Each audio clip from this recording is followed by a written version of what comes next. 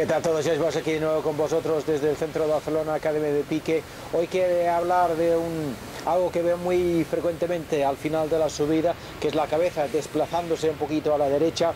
Quería explicar, explicarte el porqué de ese desplazamiento de la cabeza a la derecha y qué es lo que podremos hacer para intentar evitarlo, ¿vale? Entonces, como he comentado, una de las cosas más comunes que veo al final de la subida entre los alumnos y los amateurs en, general es un desplazamiento de la cabeza ligeramente en diagonal, poquito hacia arriba, poquito a la derecha, al final de la subida, desde la perspectiva frontal acaba en un ligero aplanamiento de los hombros, la cabeza y así el esternón se acaban alejando un poquito de la posición inicial, el juego acaba ligeramente más lejos de su posición inicial respecto a la bola, respecto al suelo, entre dos complicaciones que van a necesitar una compensación adicional en, la bajada. Entonces, ¿por qué? ¿Por qué pasa? Muchas veces el, juego puede empezar, puede empezar bastante bien y la cabeza se queda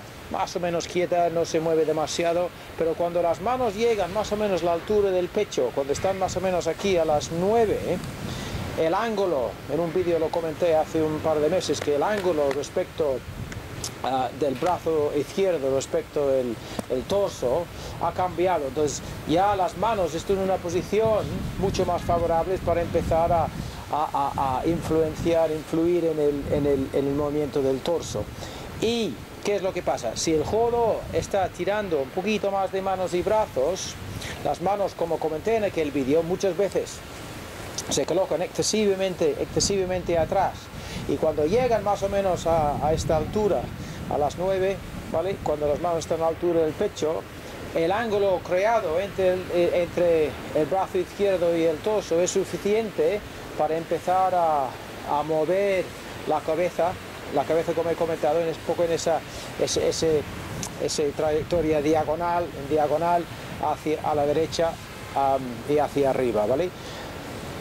¿Qué pasa con ese movimiento? Pues cambia un poco la relación de la parte superior del cuerpo respecto al tren inferior, las, las relaciones, las alineaciones de las dos partes del cuerpo no son idóneas para, afrontar la bajada. Como he comentado antes, me aleja un poco de la, del, suelo, el esternón ya no está a la misma distancia del suelo y la bola como estaba al principio dos cosas que me van a dificultar un poquito el encaje de las piezas en, la bajada. ¿Cómo lo puedo solucionar? Como siempre y como he ido comentando en muchos de los vídeos, va al fondo de la cuestión de cuáles son los músculos que estamos utilizando para mover el palo. El amateur casi siempre tiende a mover el palo excesivamente con las manos y los antebrazos y eso tiene consecuencias y esas consecuencias, como he comentado, se notan mucho más al, final de la subida que al, que al principio. solución entonces, intentar en la medida que sea posible utilizar más los músculos que rodean la columna, los oblicuos, todos los músculos en el co, que son los responsables de las rotaciones y extensiones y inclinaciones que experimenta el torso a lo largo, a largo de la subida. ¿vale?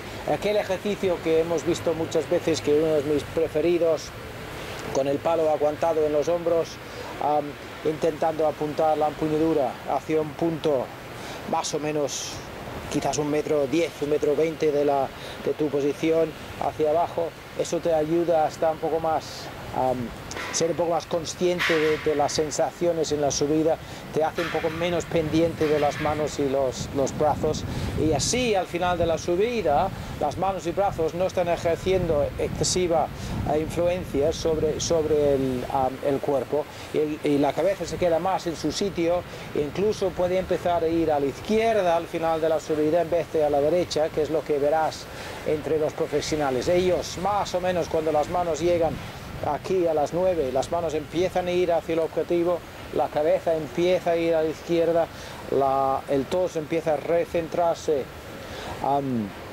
sobre, sobre el tren inferior y así tienen todo empezando a ir hacia el objetivo, la presión en los pies ya empieza a ir a la izquierda y están preparando la bajada mucho antes de que los, los brazos y el palo acaben, acaben la subida, ¿vale? Entonces, a diferencia del amateur, que muchas veces pues acaba yendo a la derecha al final de la subida con la presión, la cabeza y, llega un poco tarde a la fiesta en la bajada para poder encajar las piezas, ¿vale? Espero que esto ayude, muy importante, es una, si os, si os grabáis y, veis que la cabeza está empezando a ir a la derecha al final de la subida, la solución está más en, en utilizar el, los músculos que rodean la columna más que no dejar que tus manos y brazos te arrastren a la derecha al final de la subida. Muy bien, espero que esto ayude y de aquí a poco esté de vuelta con vosotros. Adiós.